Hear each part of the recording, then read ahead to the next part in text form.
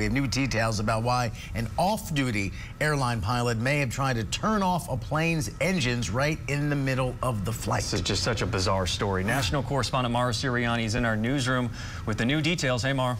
Yeah, guys, it's like something out of a horror movie, right? You never expect this to happen, especially um, done at the hands of a pilot. Granted, he was off duty, but we've learned there was a mental health aspect here and also an aspect of some self-medicating. Um, court documents revealing the off-duty uh, pilot said he took psychedelic magic mushrooms 48 hours before allegedly trying to crash this plane. 44-year-old Joseph Emerson appeared in court in um, Oregon on Tuesday. He faces 83 counts of attempted murder and told police he hadn't slept for about 40 hours prior to boarding and had been struggling with depression amplified by a friend's recent death, adding this is the first time he'd ever taken that substance. The incident happened Sunday on a Horizon Air flight, which is owned by Alaska Airlines. Officials say Emerson was riding in the cockpit of the flight from Seattle to San Francisco when he said, quote, I'm not okay. According to court documents, Emerson then tried to activate the plane's fire suppression system, which would have cut off fuel to the engines. Um, Emerson said he thought he was dreaming when he pulled that handle. Thankfully, a quick thinking pilot was um, able to stop him. Again, people fly in this jump seat all the time. You have some audio from air traffic control now giving us some more insight this morning into those tense moments. The threat is now in the back of the airplane, uh, so we're, we're reduced on the threat level. Uh, uh, we're going to check in with the flight attendant to make sure everything is running smoothly. He's uh, handcuffed and he's in an aft back jump seat when law enforcement arrives. After we landed, about five police officers came on and escorted the gentleman from the back of the plane, um, and he was in zip ties. And, um, you know, the whole situation the entire time was very calm. Um, he was co- cooperative and, um, you know, props to the Alaska crew for keeping everyone calm Thankfully, everyone's okay. Can't imagine how scared they must have been, though. Emerson uh, pleaded not guilty to those 83 counts of attempted murder. He's also charged separately in federal court for trying to interfere uh, interfere with the uh, flight crew there. Now, the FBI is also um, assisting with this one, and Alaska Airlines says he has been relieved of all duties pending the investigation. Jay, they're also investigating whether or not he really did have that substance um, in his system at the time. Yeah, and how much of that substance, and now experts are also questioning if it was still in his system or how much much that could have altered his state. Uh, just a wild story here. National correspondent Mara Siriani, thank you. Joining us now is Kit Darby, an aviation consultant and president of kitdarby.com. Kit, thank you so much for your time. So, the pilot said he took psychedelic mushrooms. The big question is, how is he getting in the cockpit then? And what screening or safeguards are in place to avoid people who might be under the influence from getting in that place in such a critical spot in the plane? Well, it's certainly not. Uh, there's not a, not going to be a test for mushrooms before each flight.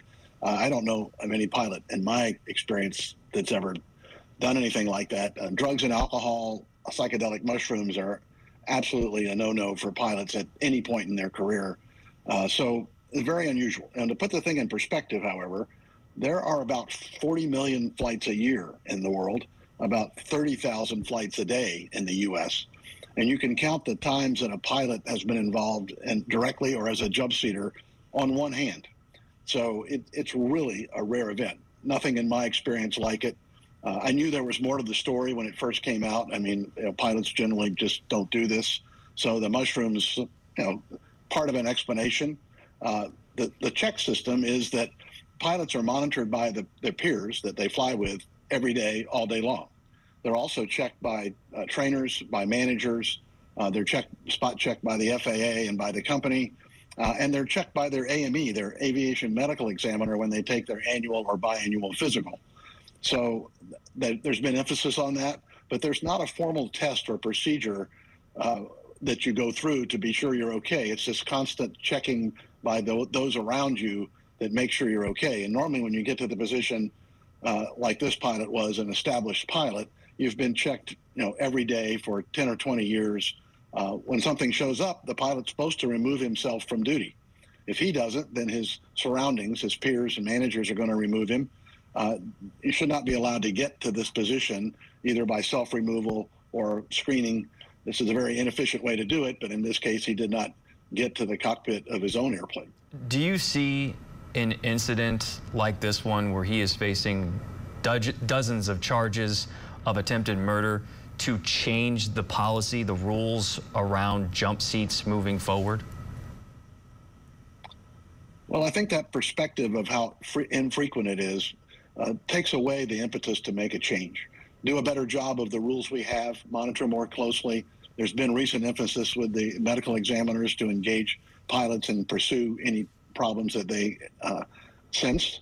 So I don't think there'll be a change in procedures. There'll be a redoubling of the current efforts in monitoring that we have. Um, you know, just to, if you pull these handles in the cockpit, the airplane doesn't fall out of the sky. It's like going down the road at 80 miles an hour and taking your foot off the gas. You're going to coast a long way. So this airplane is at 30, 35,000 feet.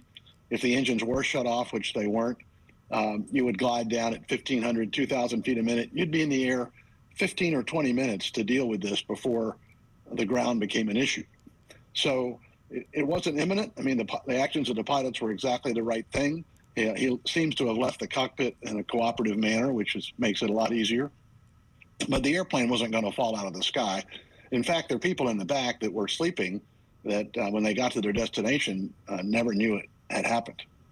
That being said, uh, this does trigger some kind of alarm that it's I guess just from a passive observer thinking a co-pilot who claims to be um, not all there mentally, um, whether he was on shrooms or the level of shrooms that he was on, that he has that easy access to where he can just pull a lever and then it shuts it off and then like you said, uh, turns into a glider or whatever. That's a scary proposition. I agree. It's certainly very unusual and, and scary. It's not an imminent crash but it's uh, you know if you have one engine failure, if it was to fail mechanically, it would be an emergency. If both engines failed uh, mechanically, it would be a serious emergency. Luckily, there are procedures for that, and pilots are trained in those very unlikely circumstances. And in this case, they acted quickly, and the engine never stopped. Had it stopped, it would have restarted easily with the reposition of the lever and perhaps the introduction of ignition, which is a, a single switch. Uh, just a remarkable story and so glad that no one got hurt from all of this. Aviation consultant and president of KitDarby.com, Kit Darby, thank you so much for your time and your expertise. We appreciate it. Thanks for having me.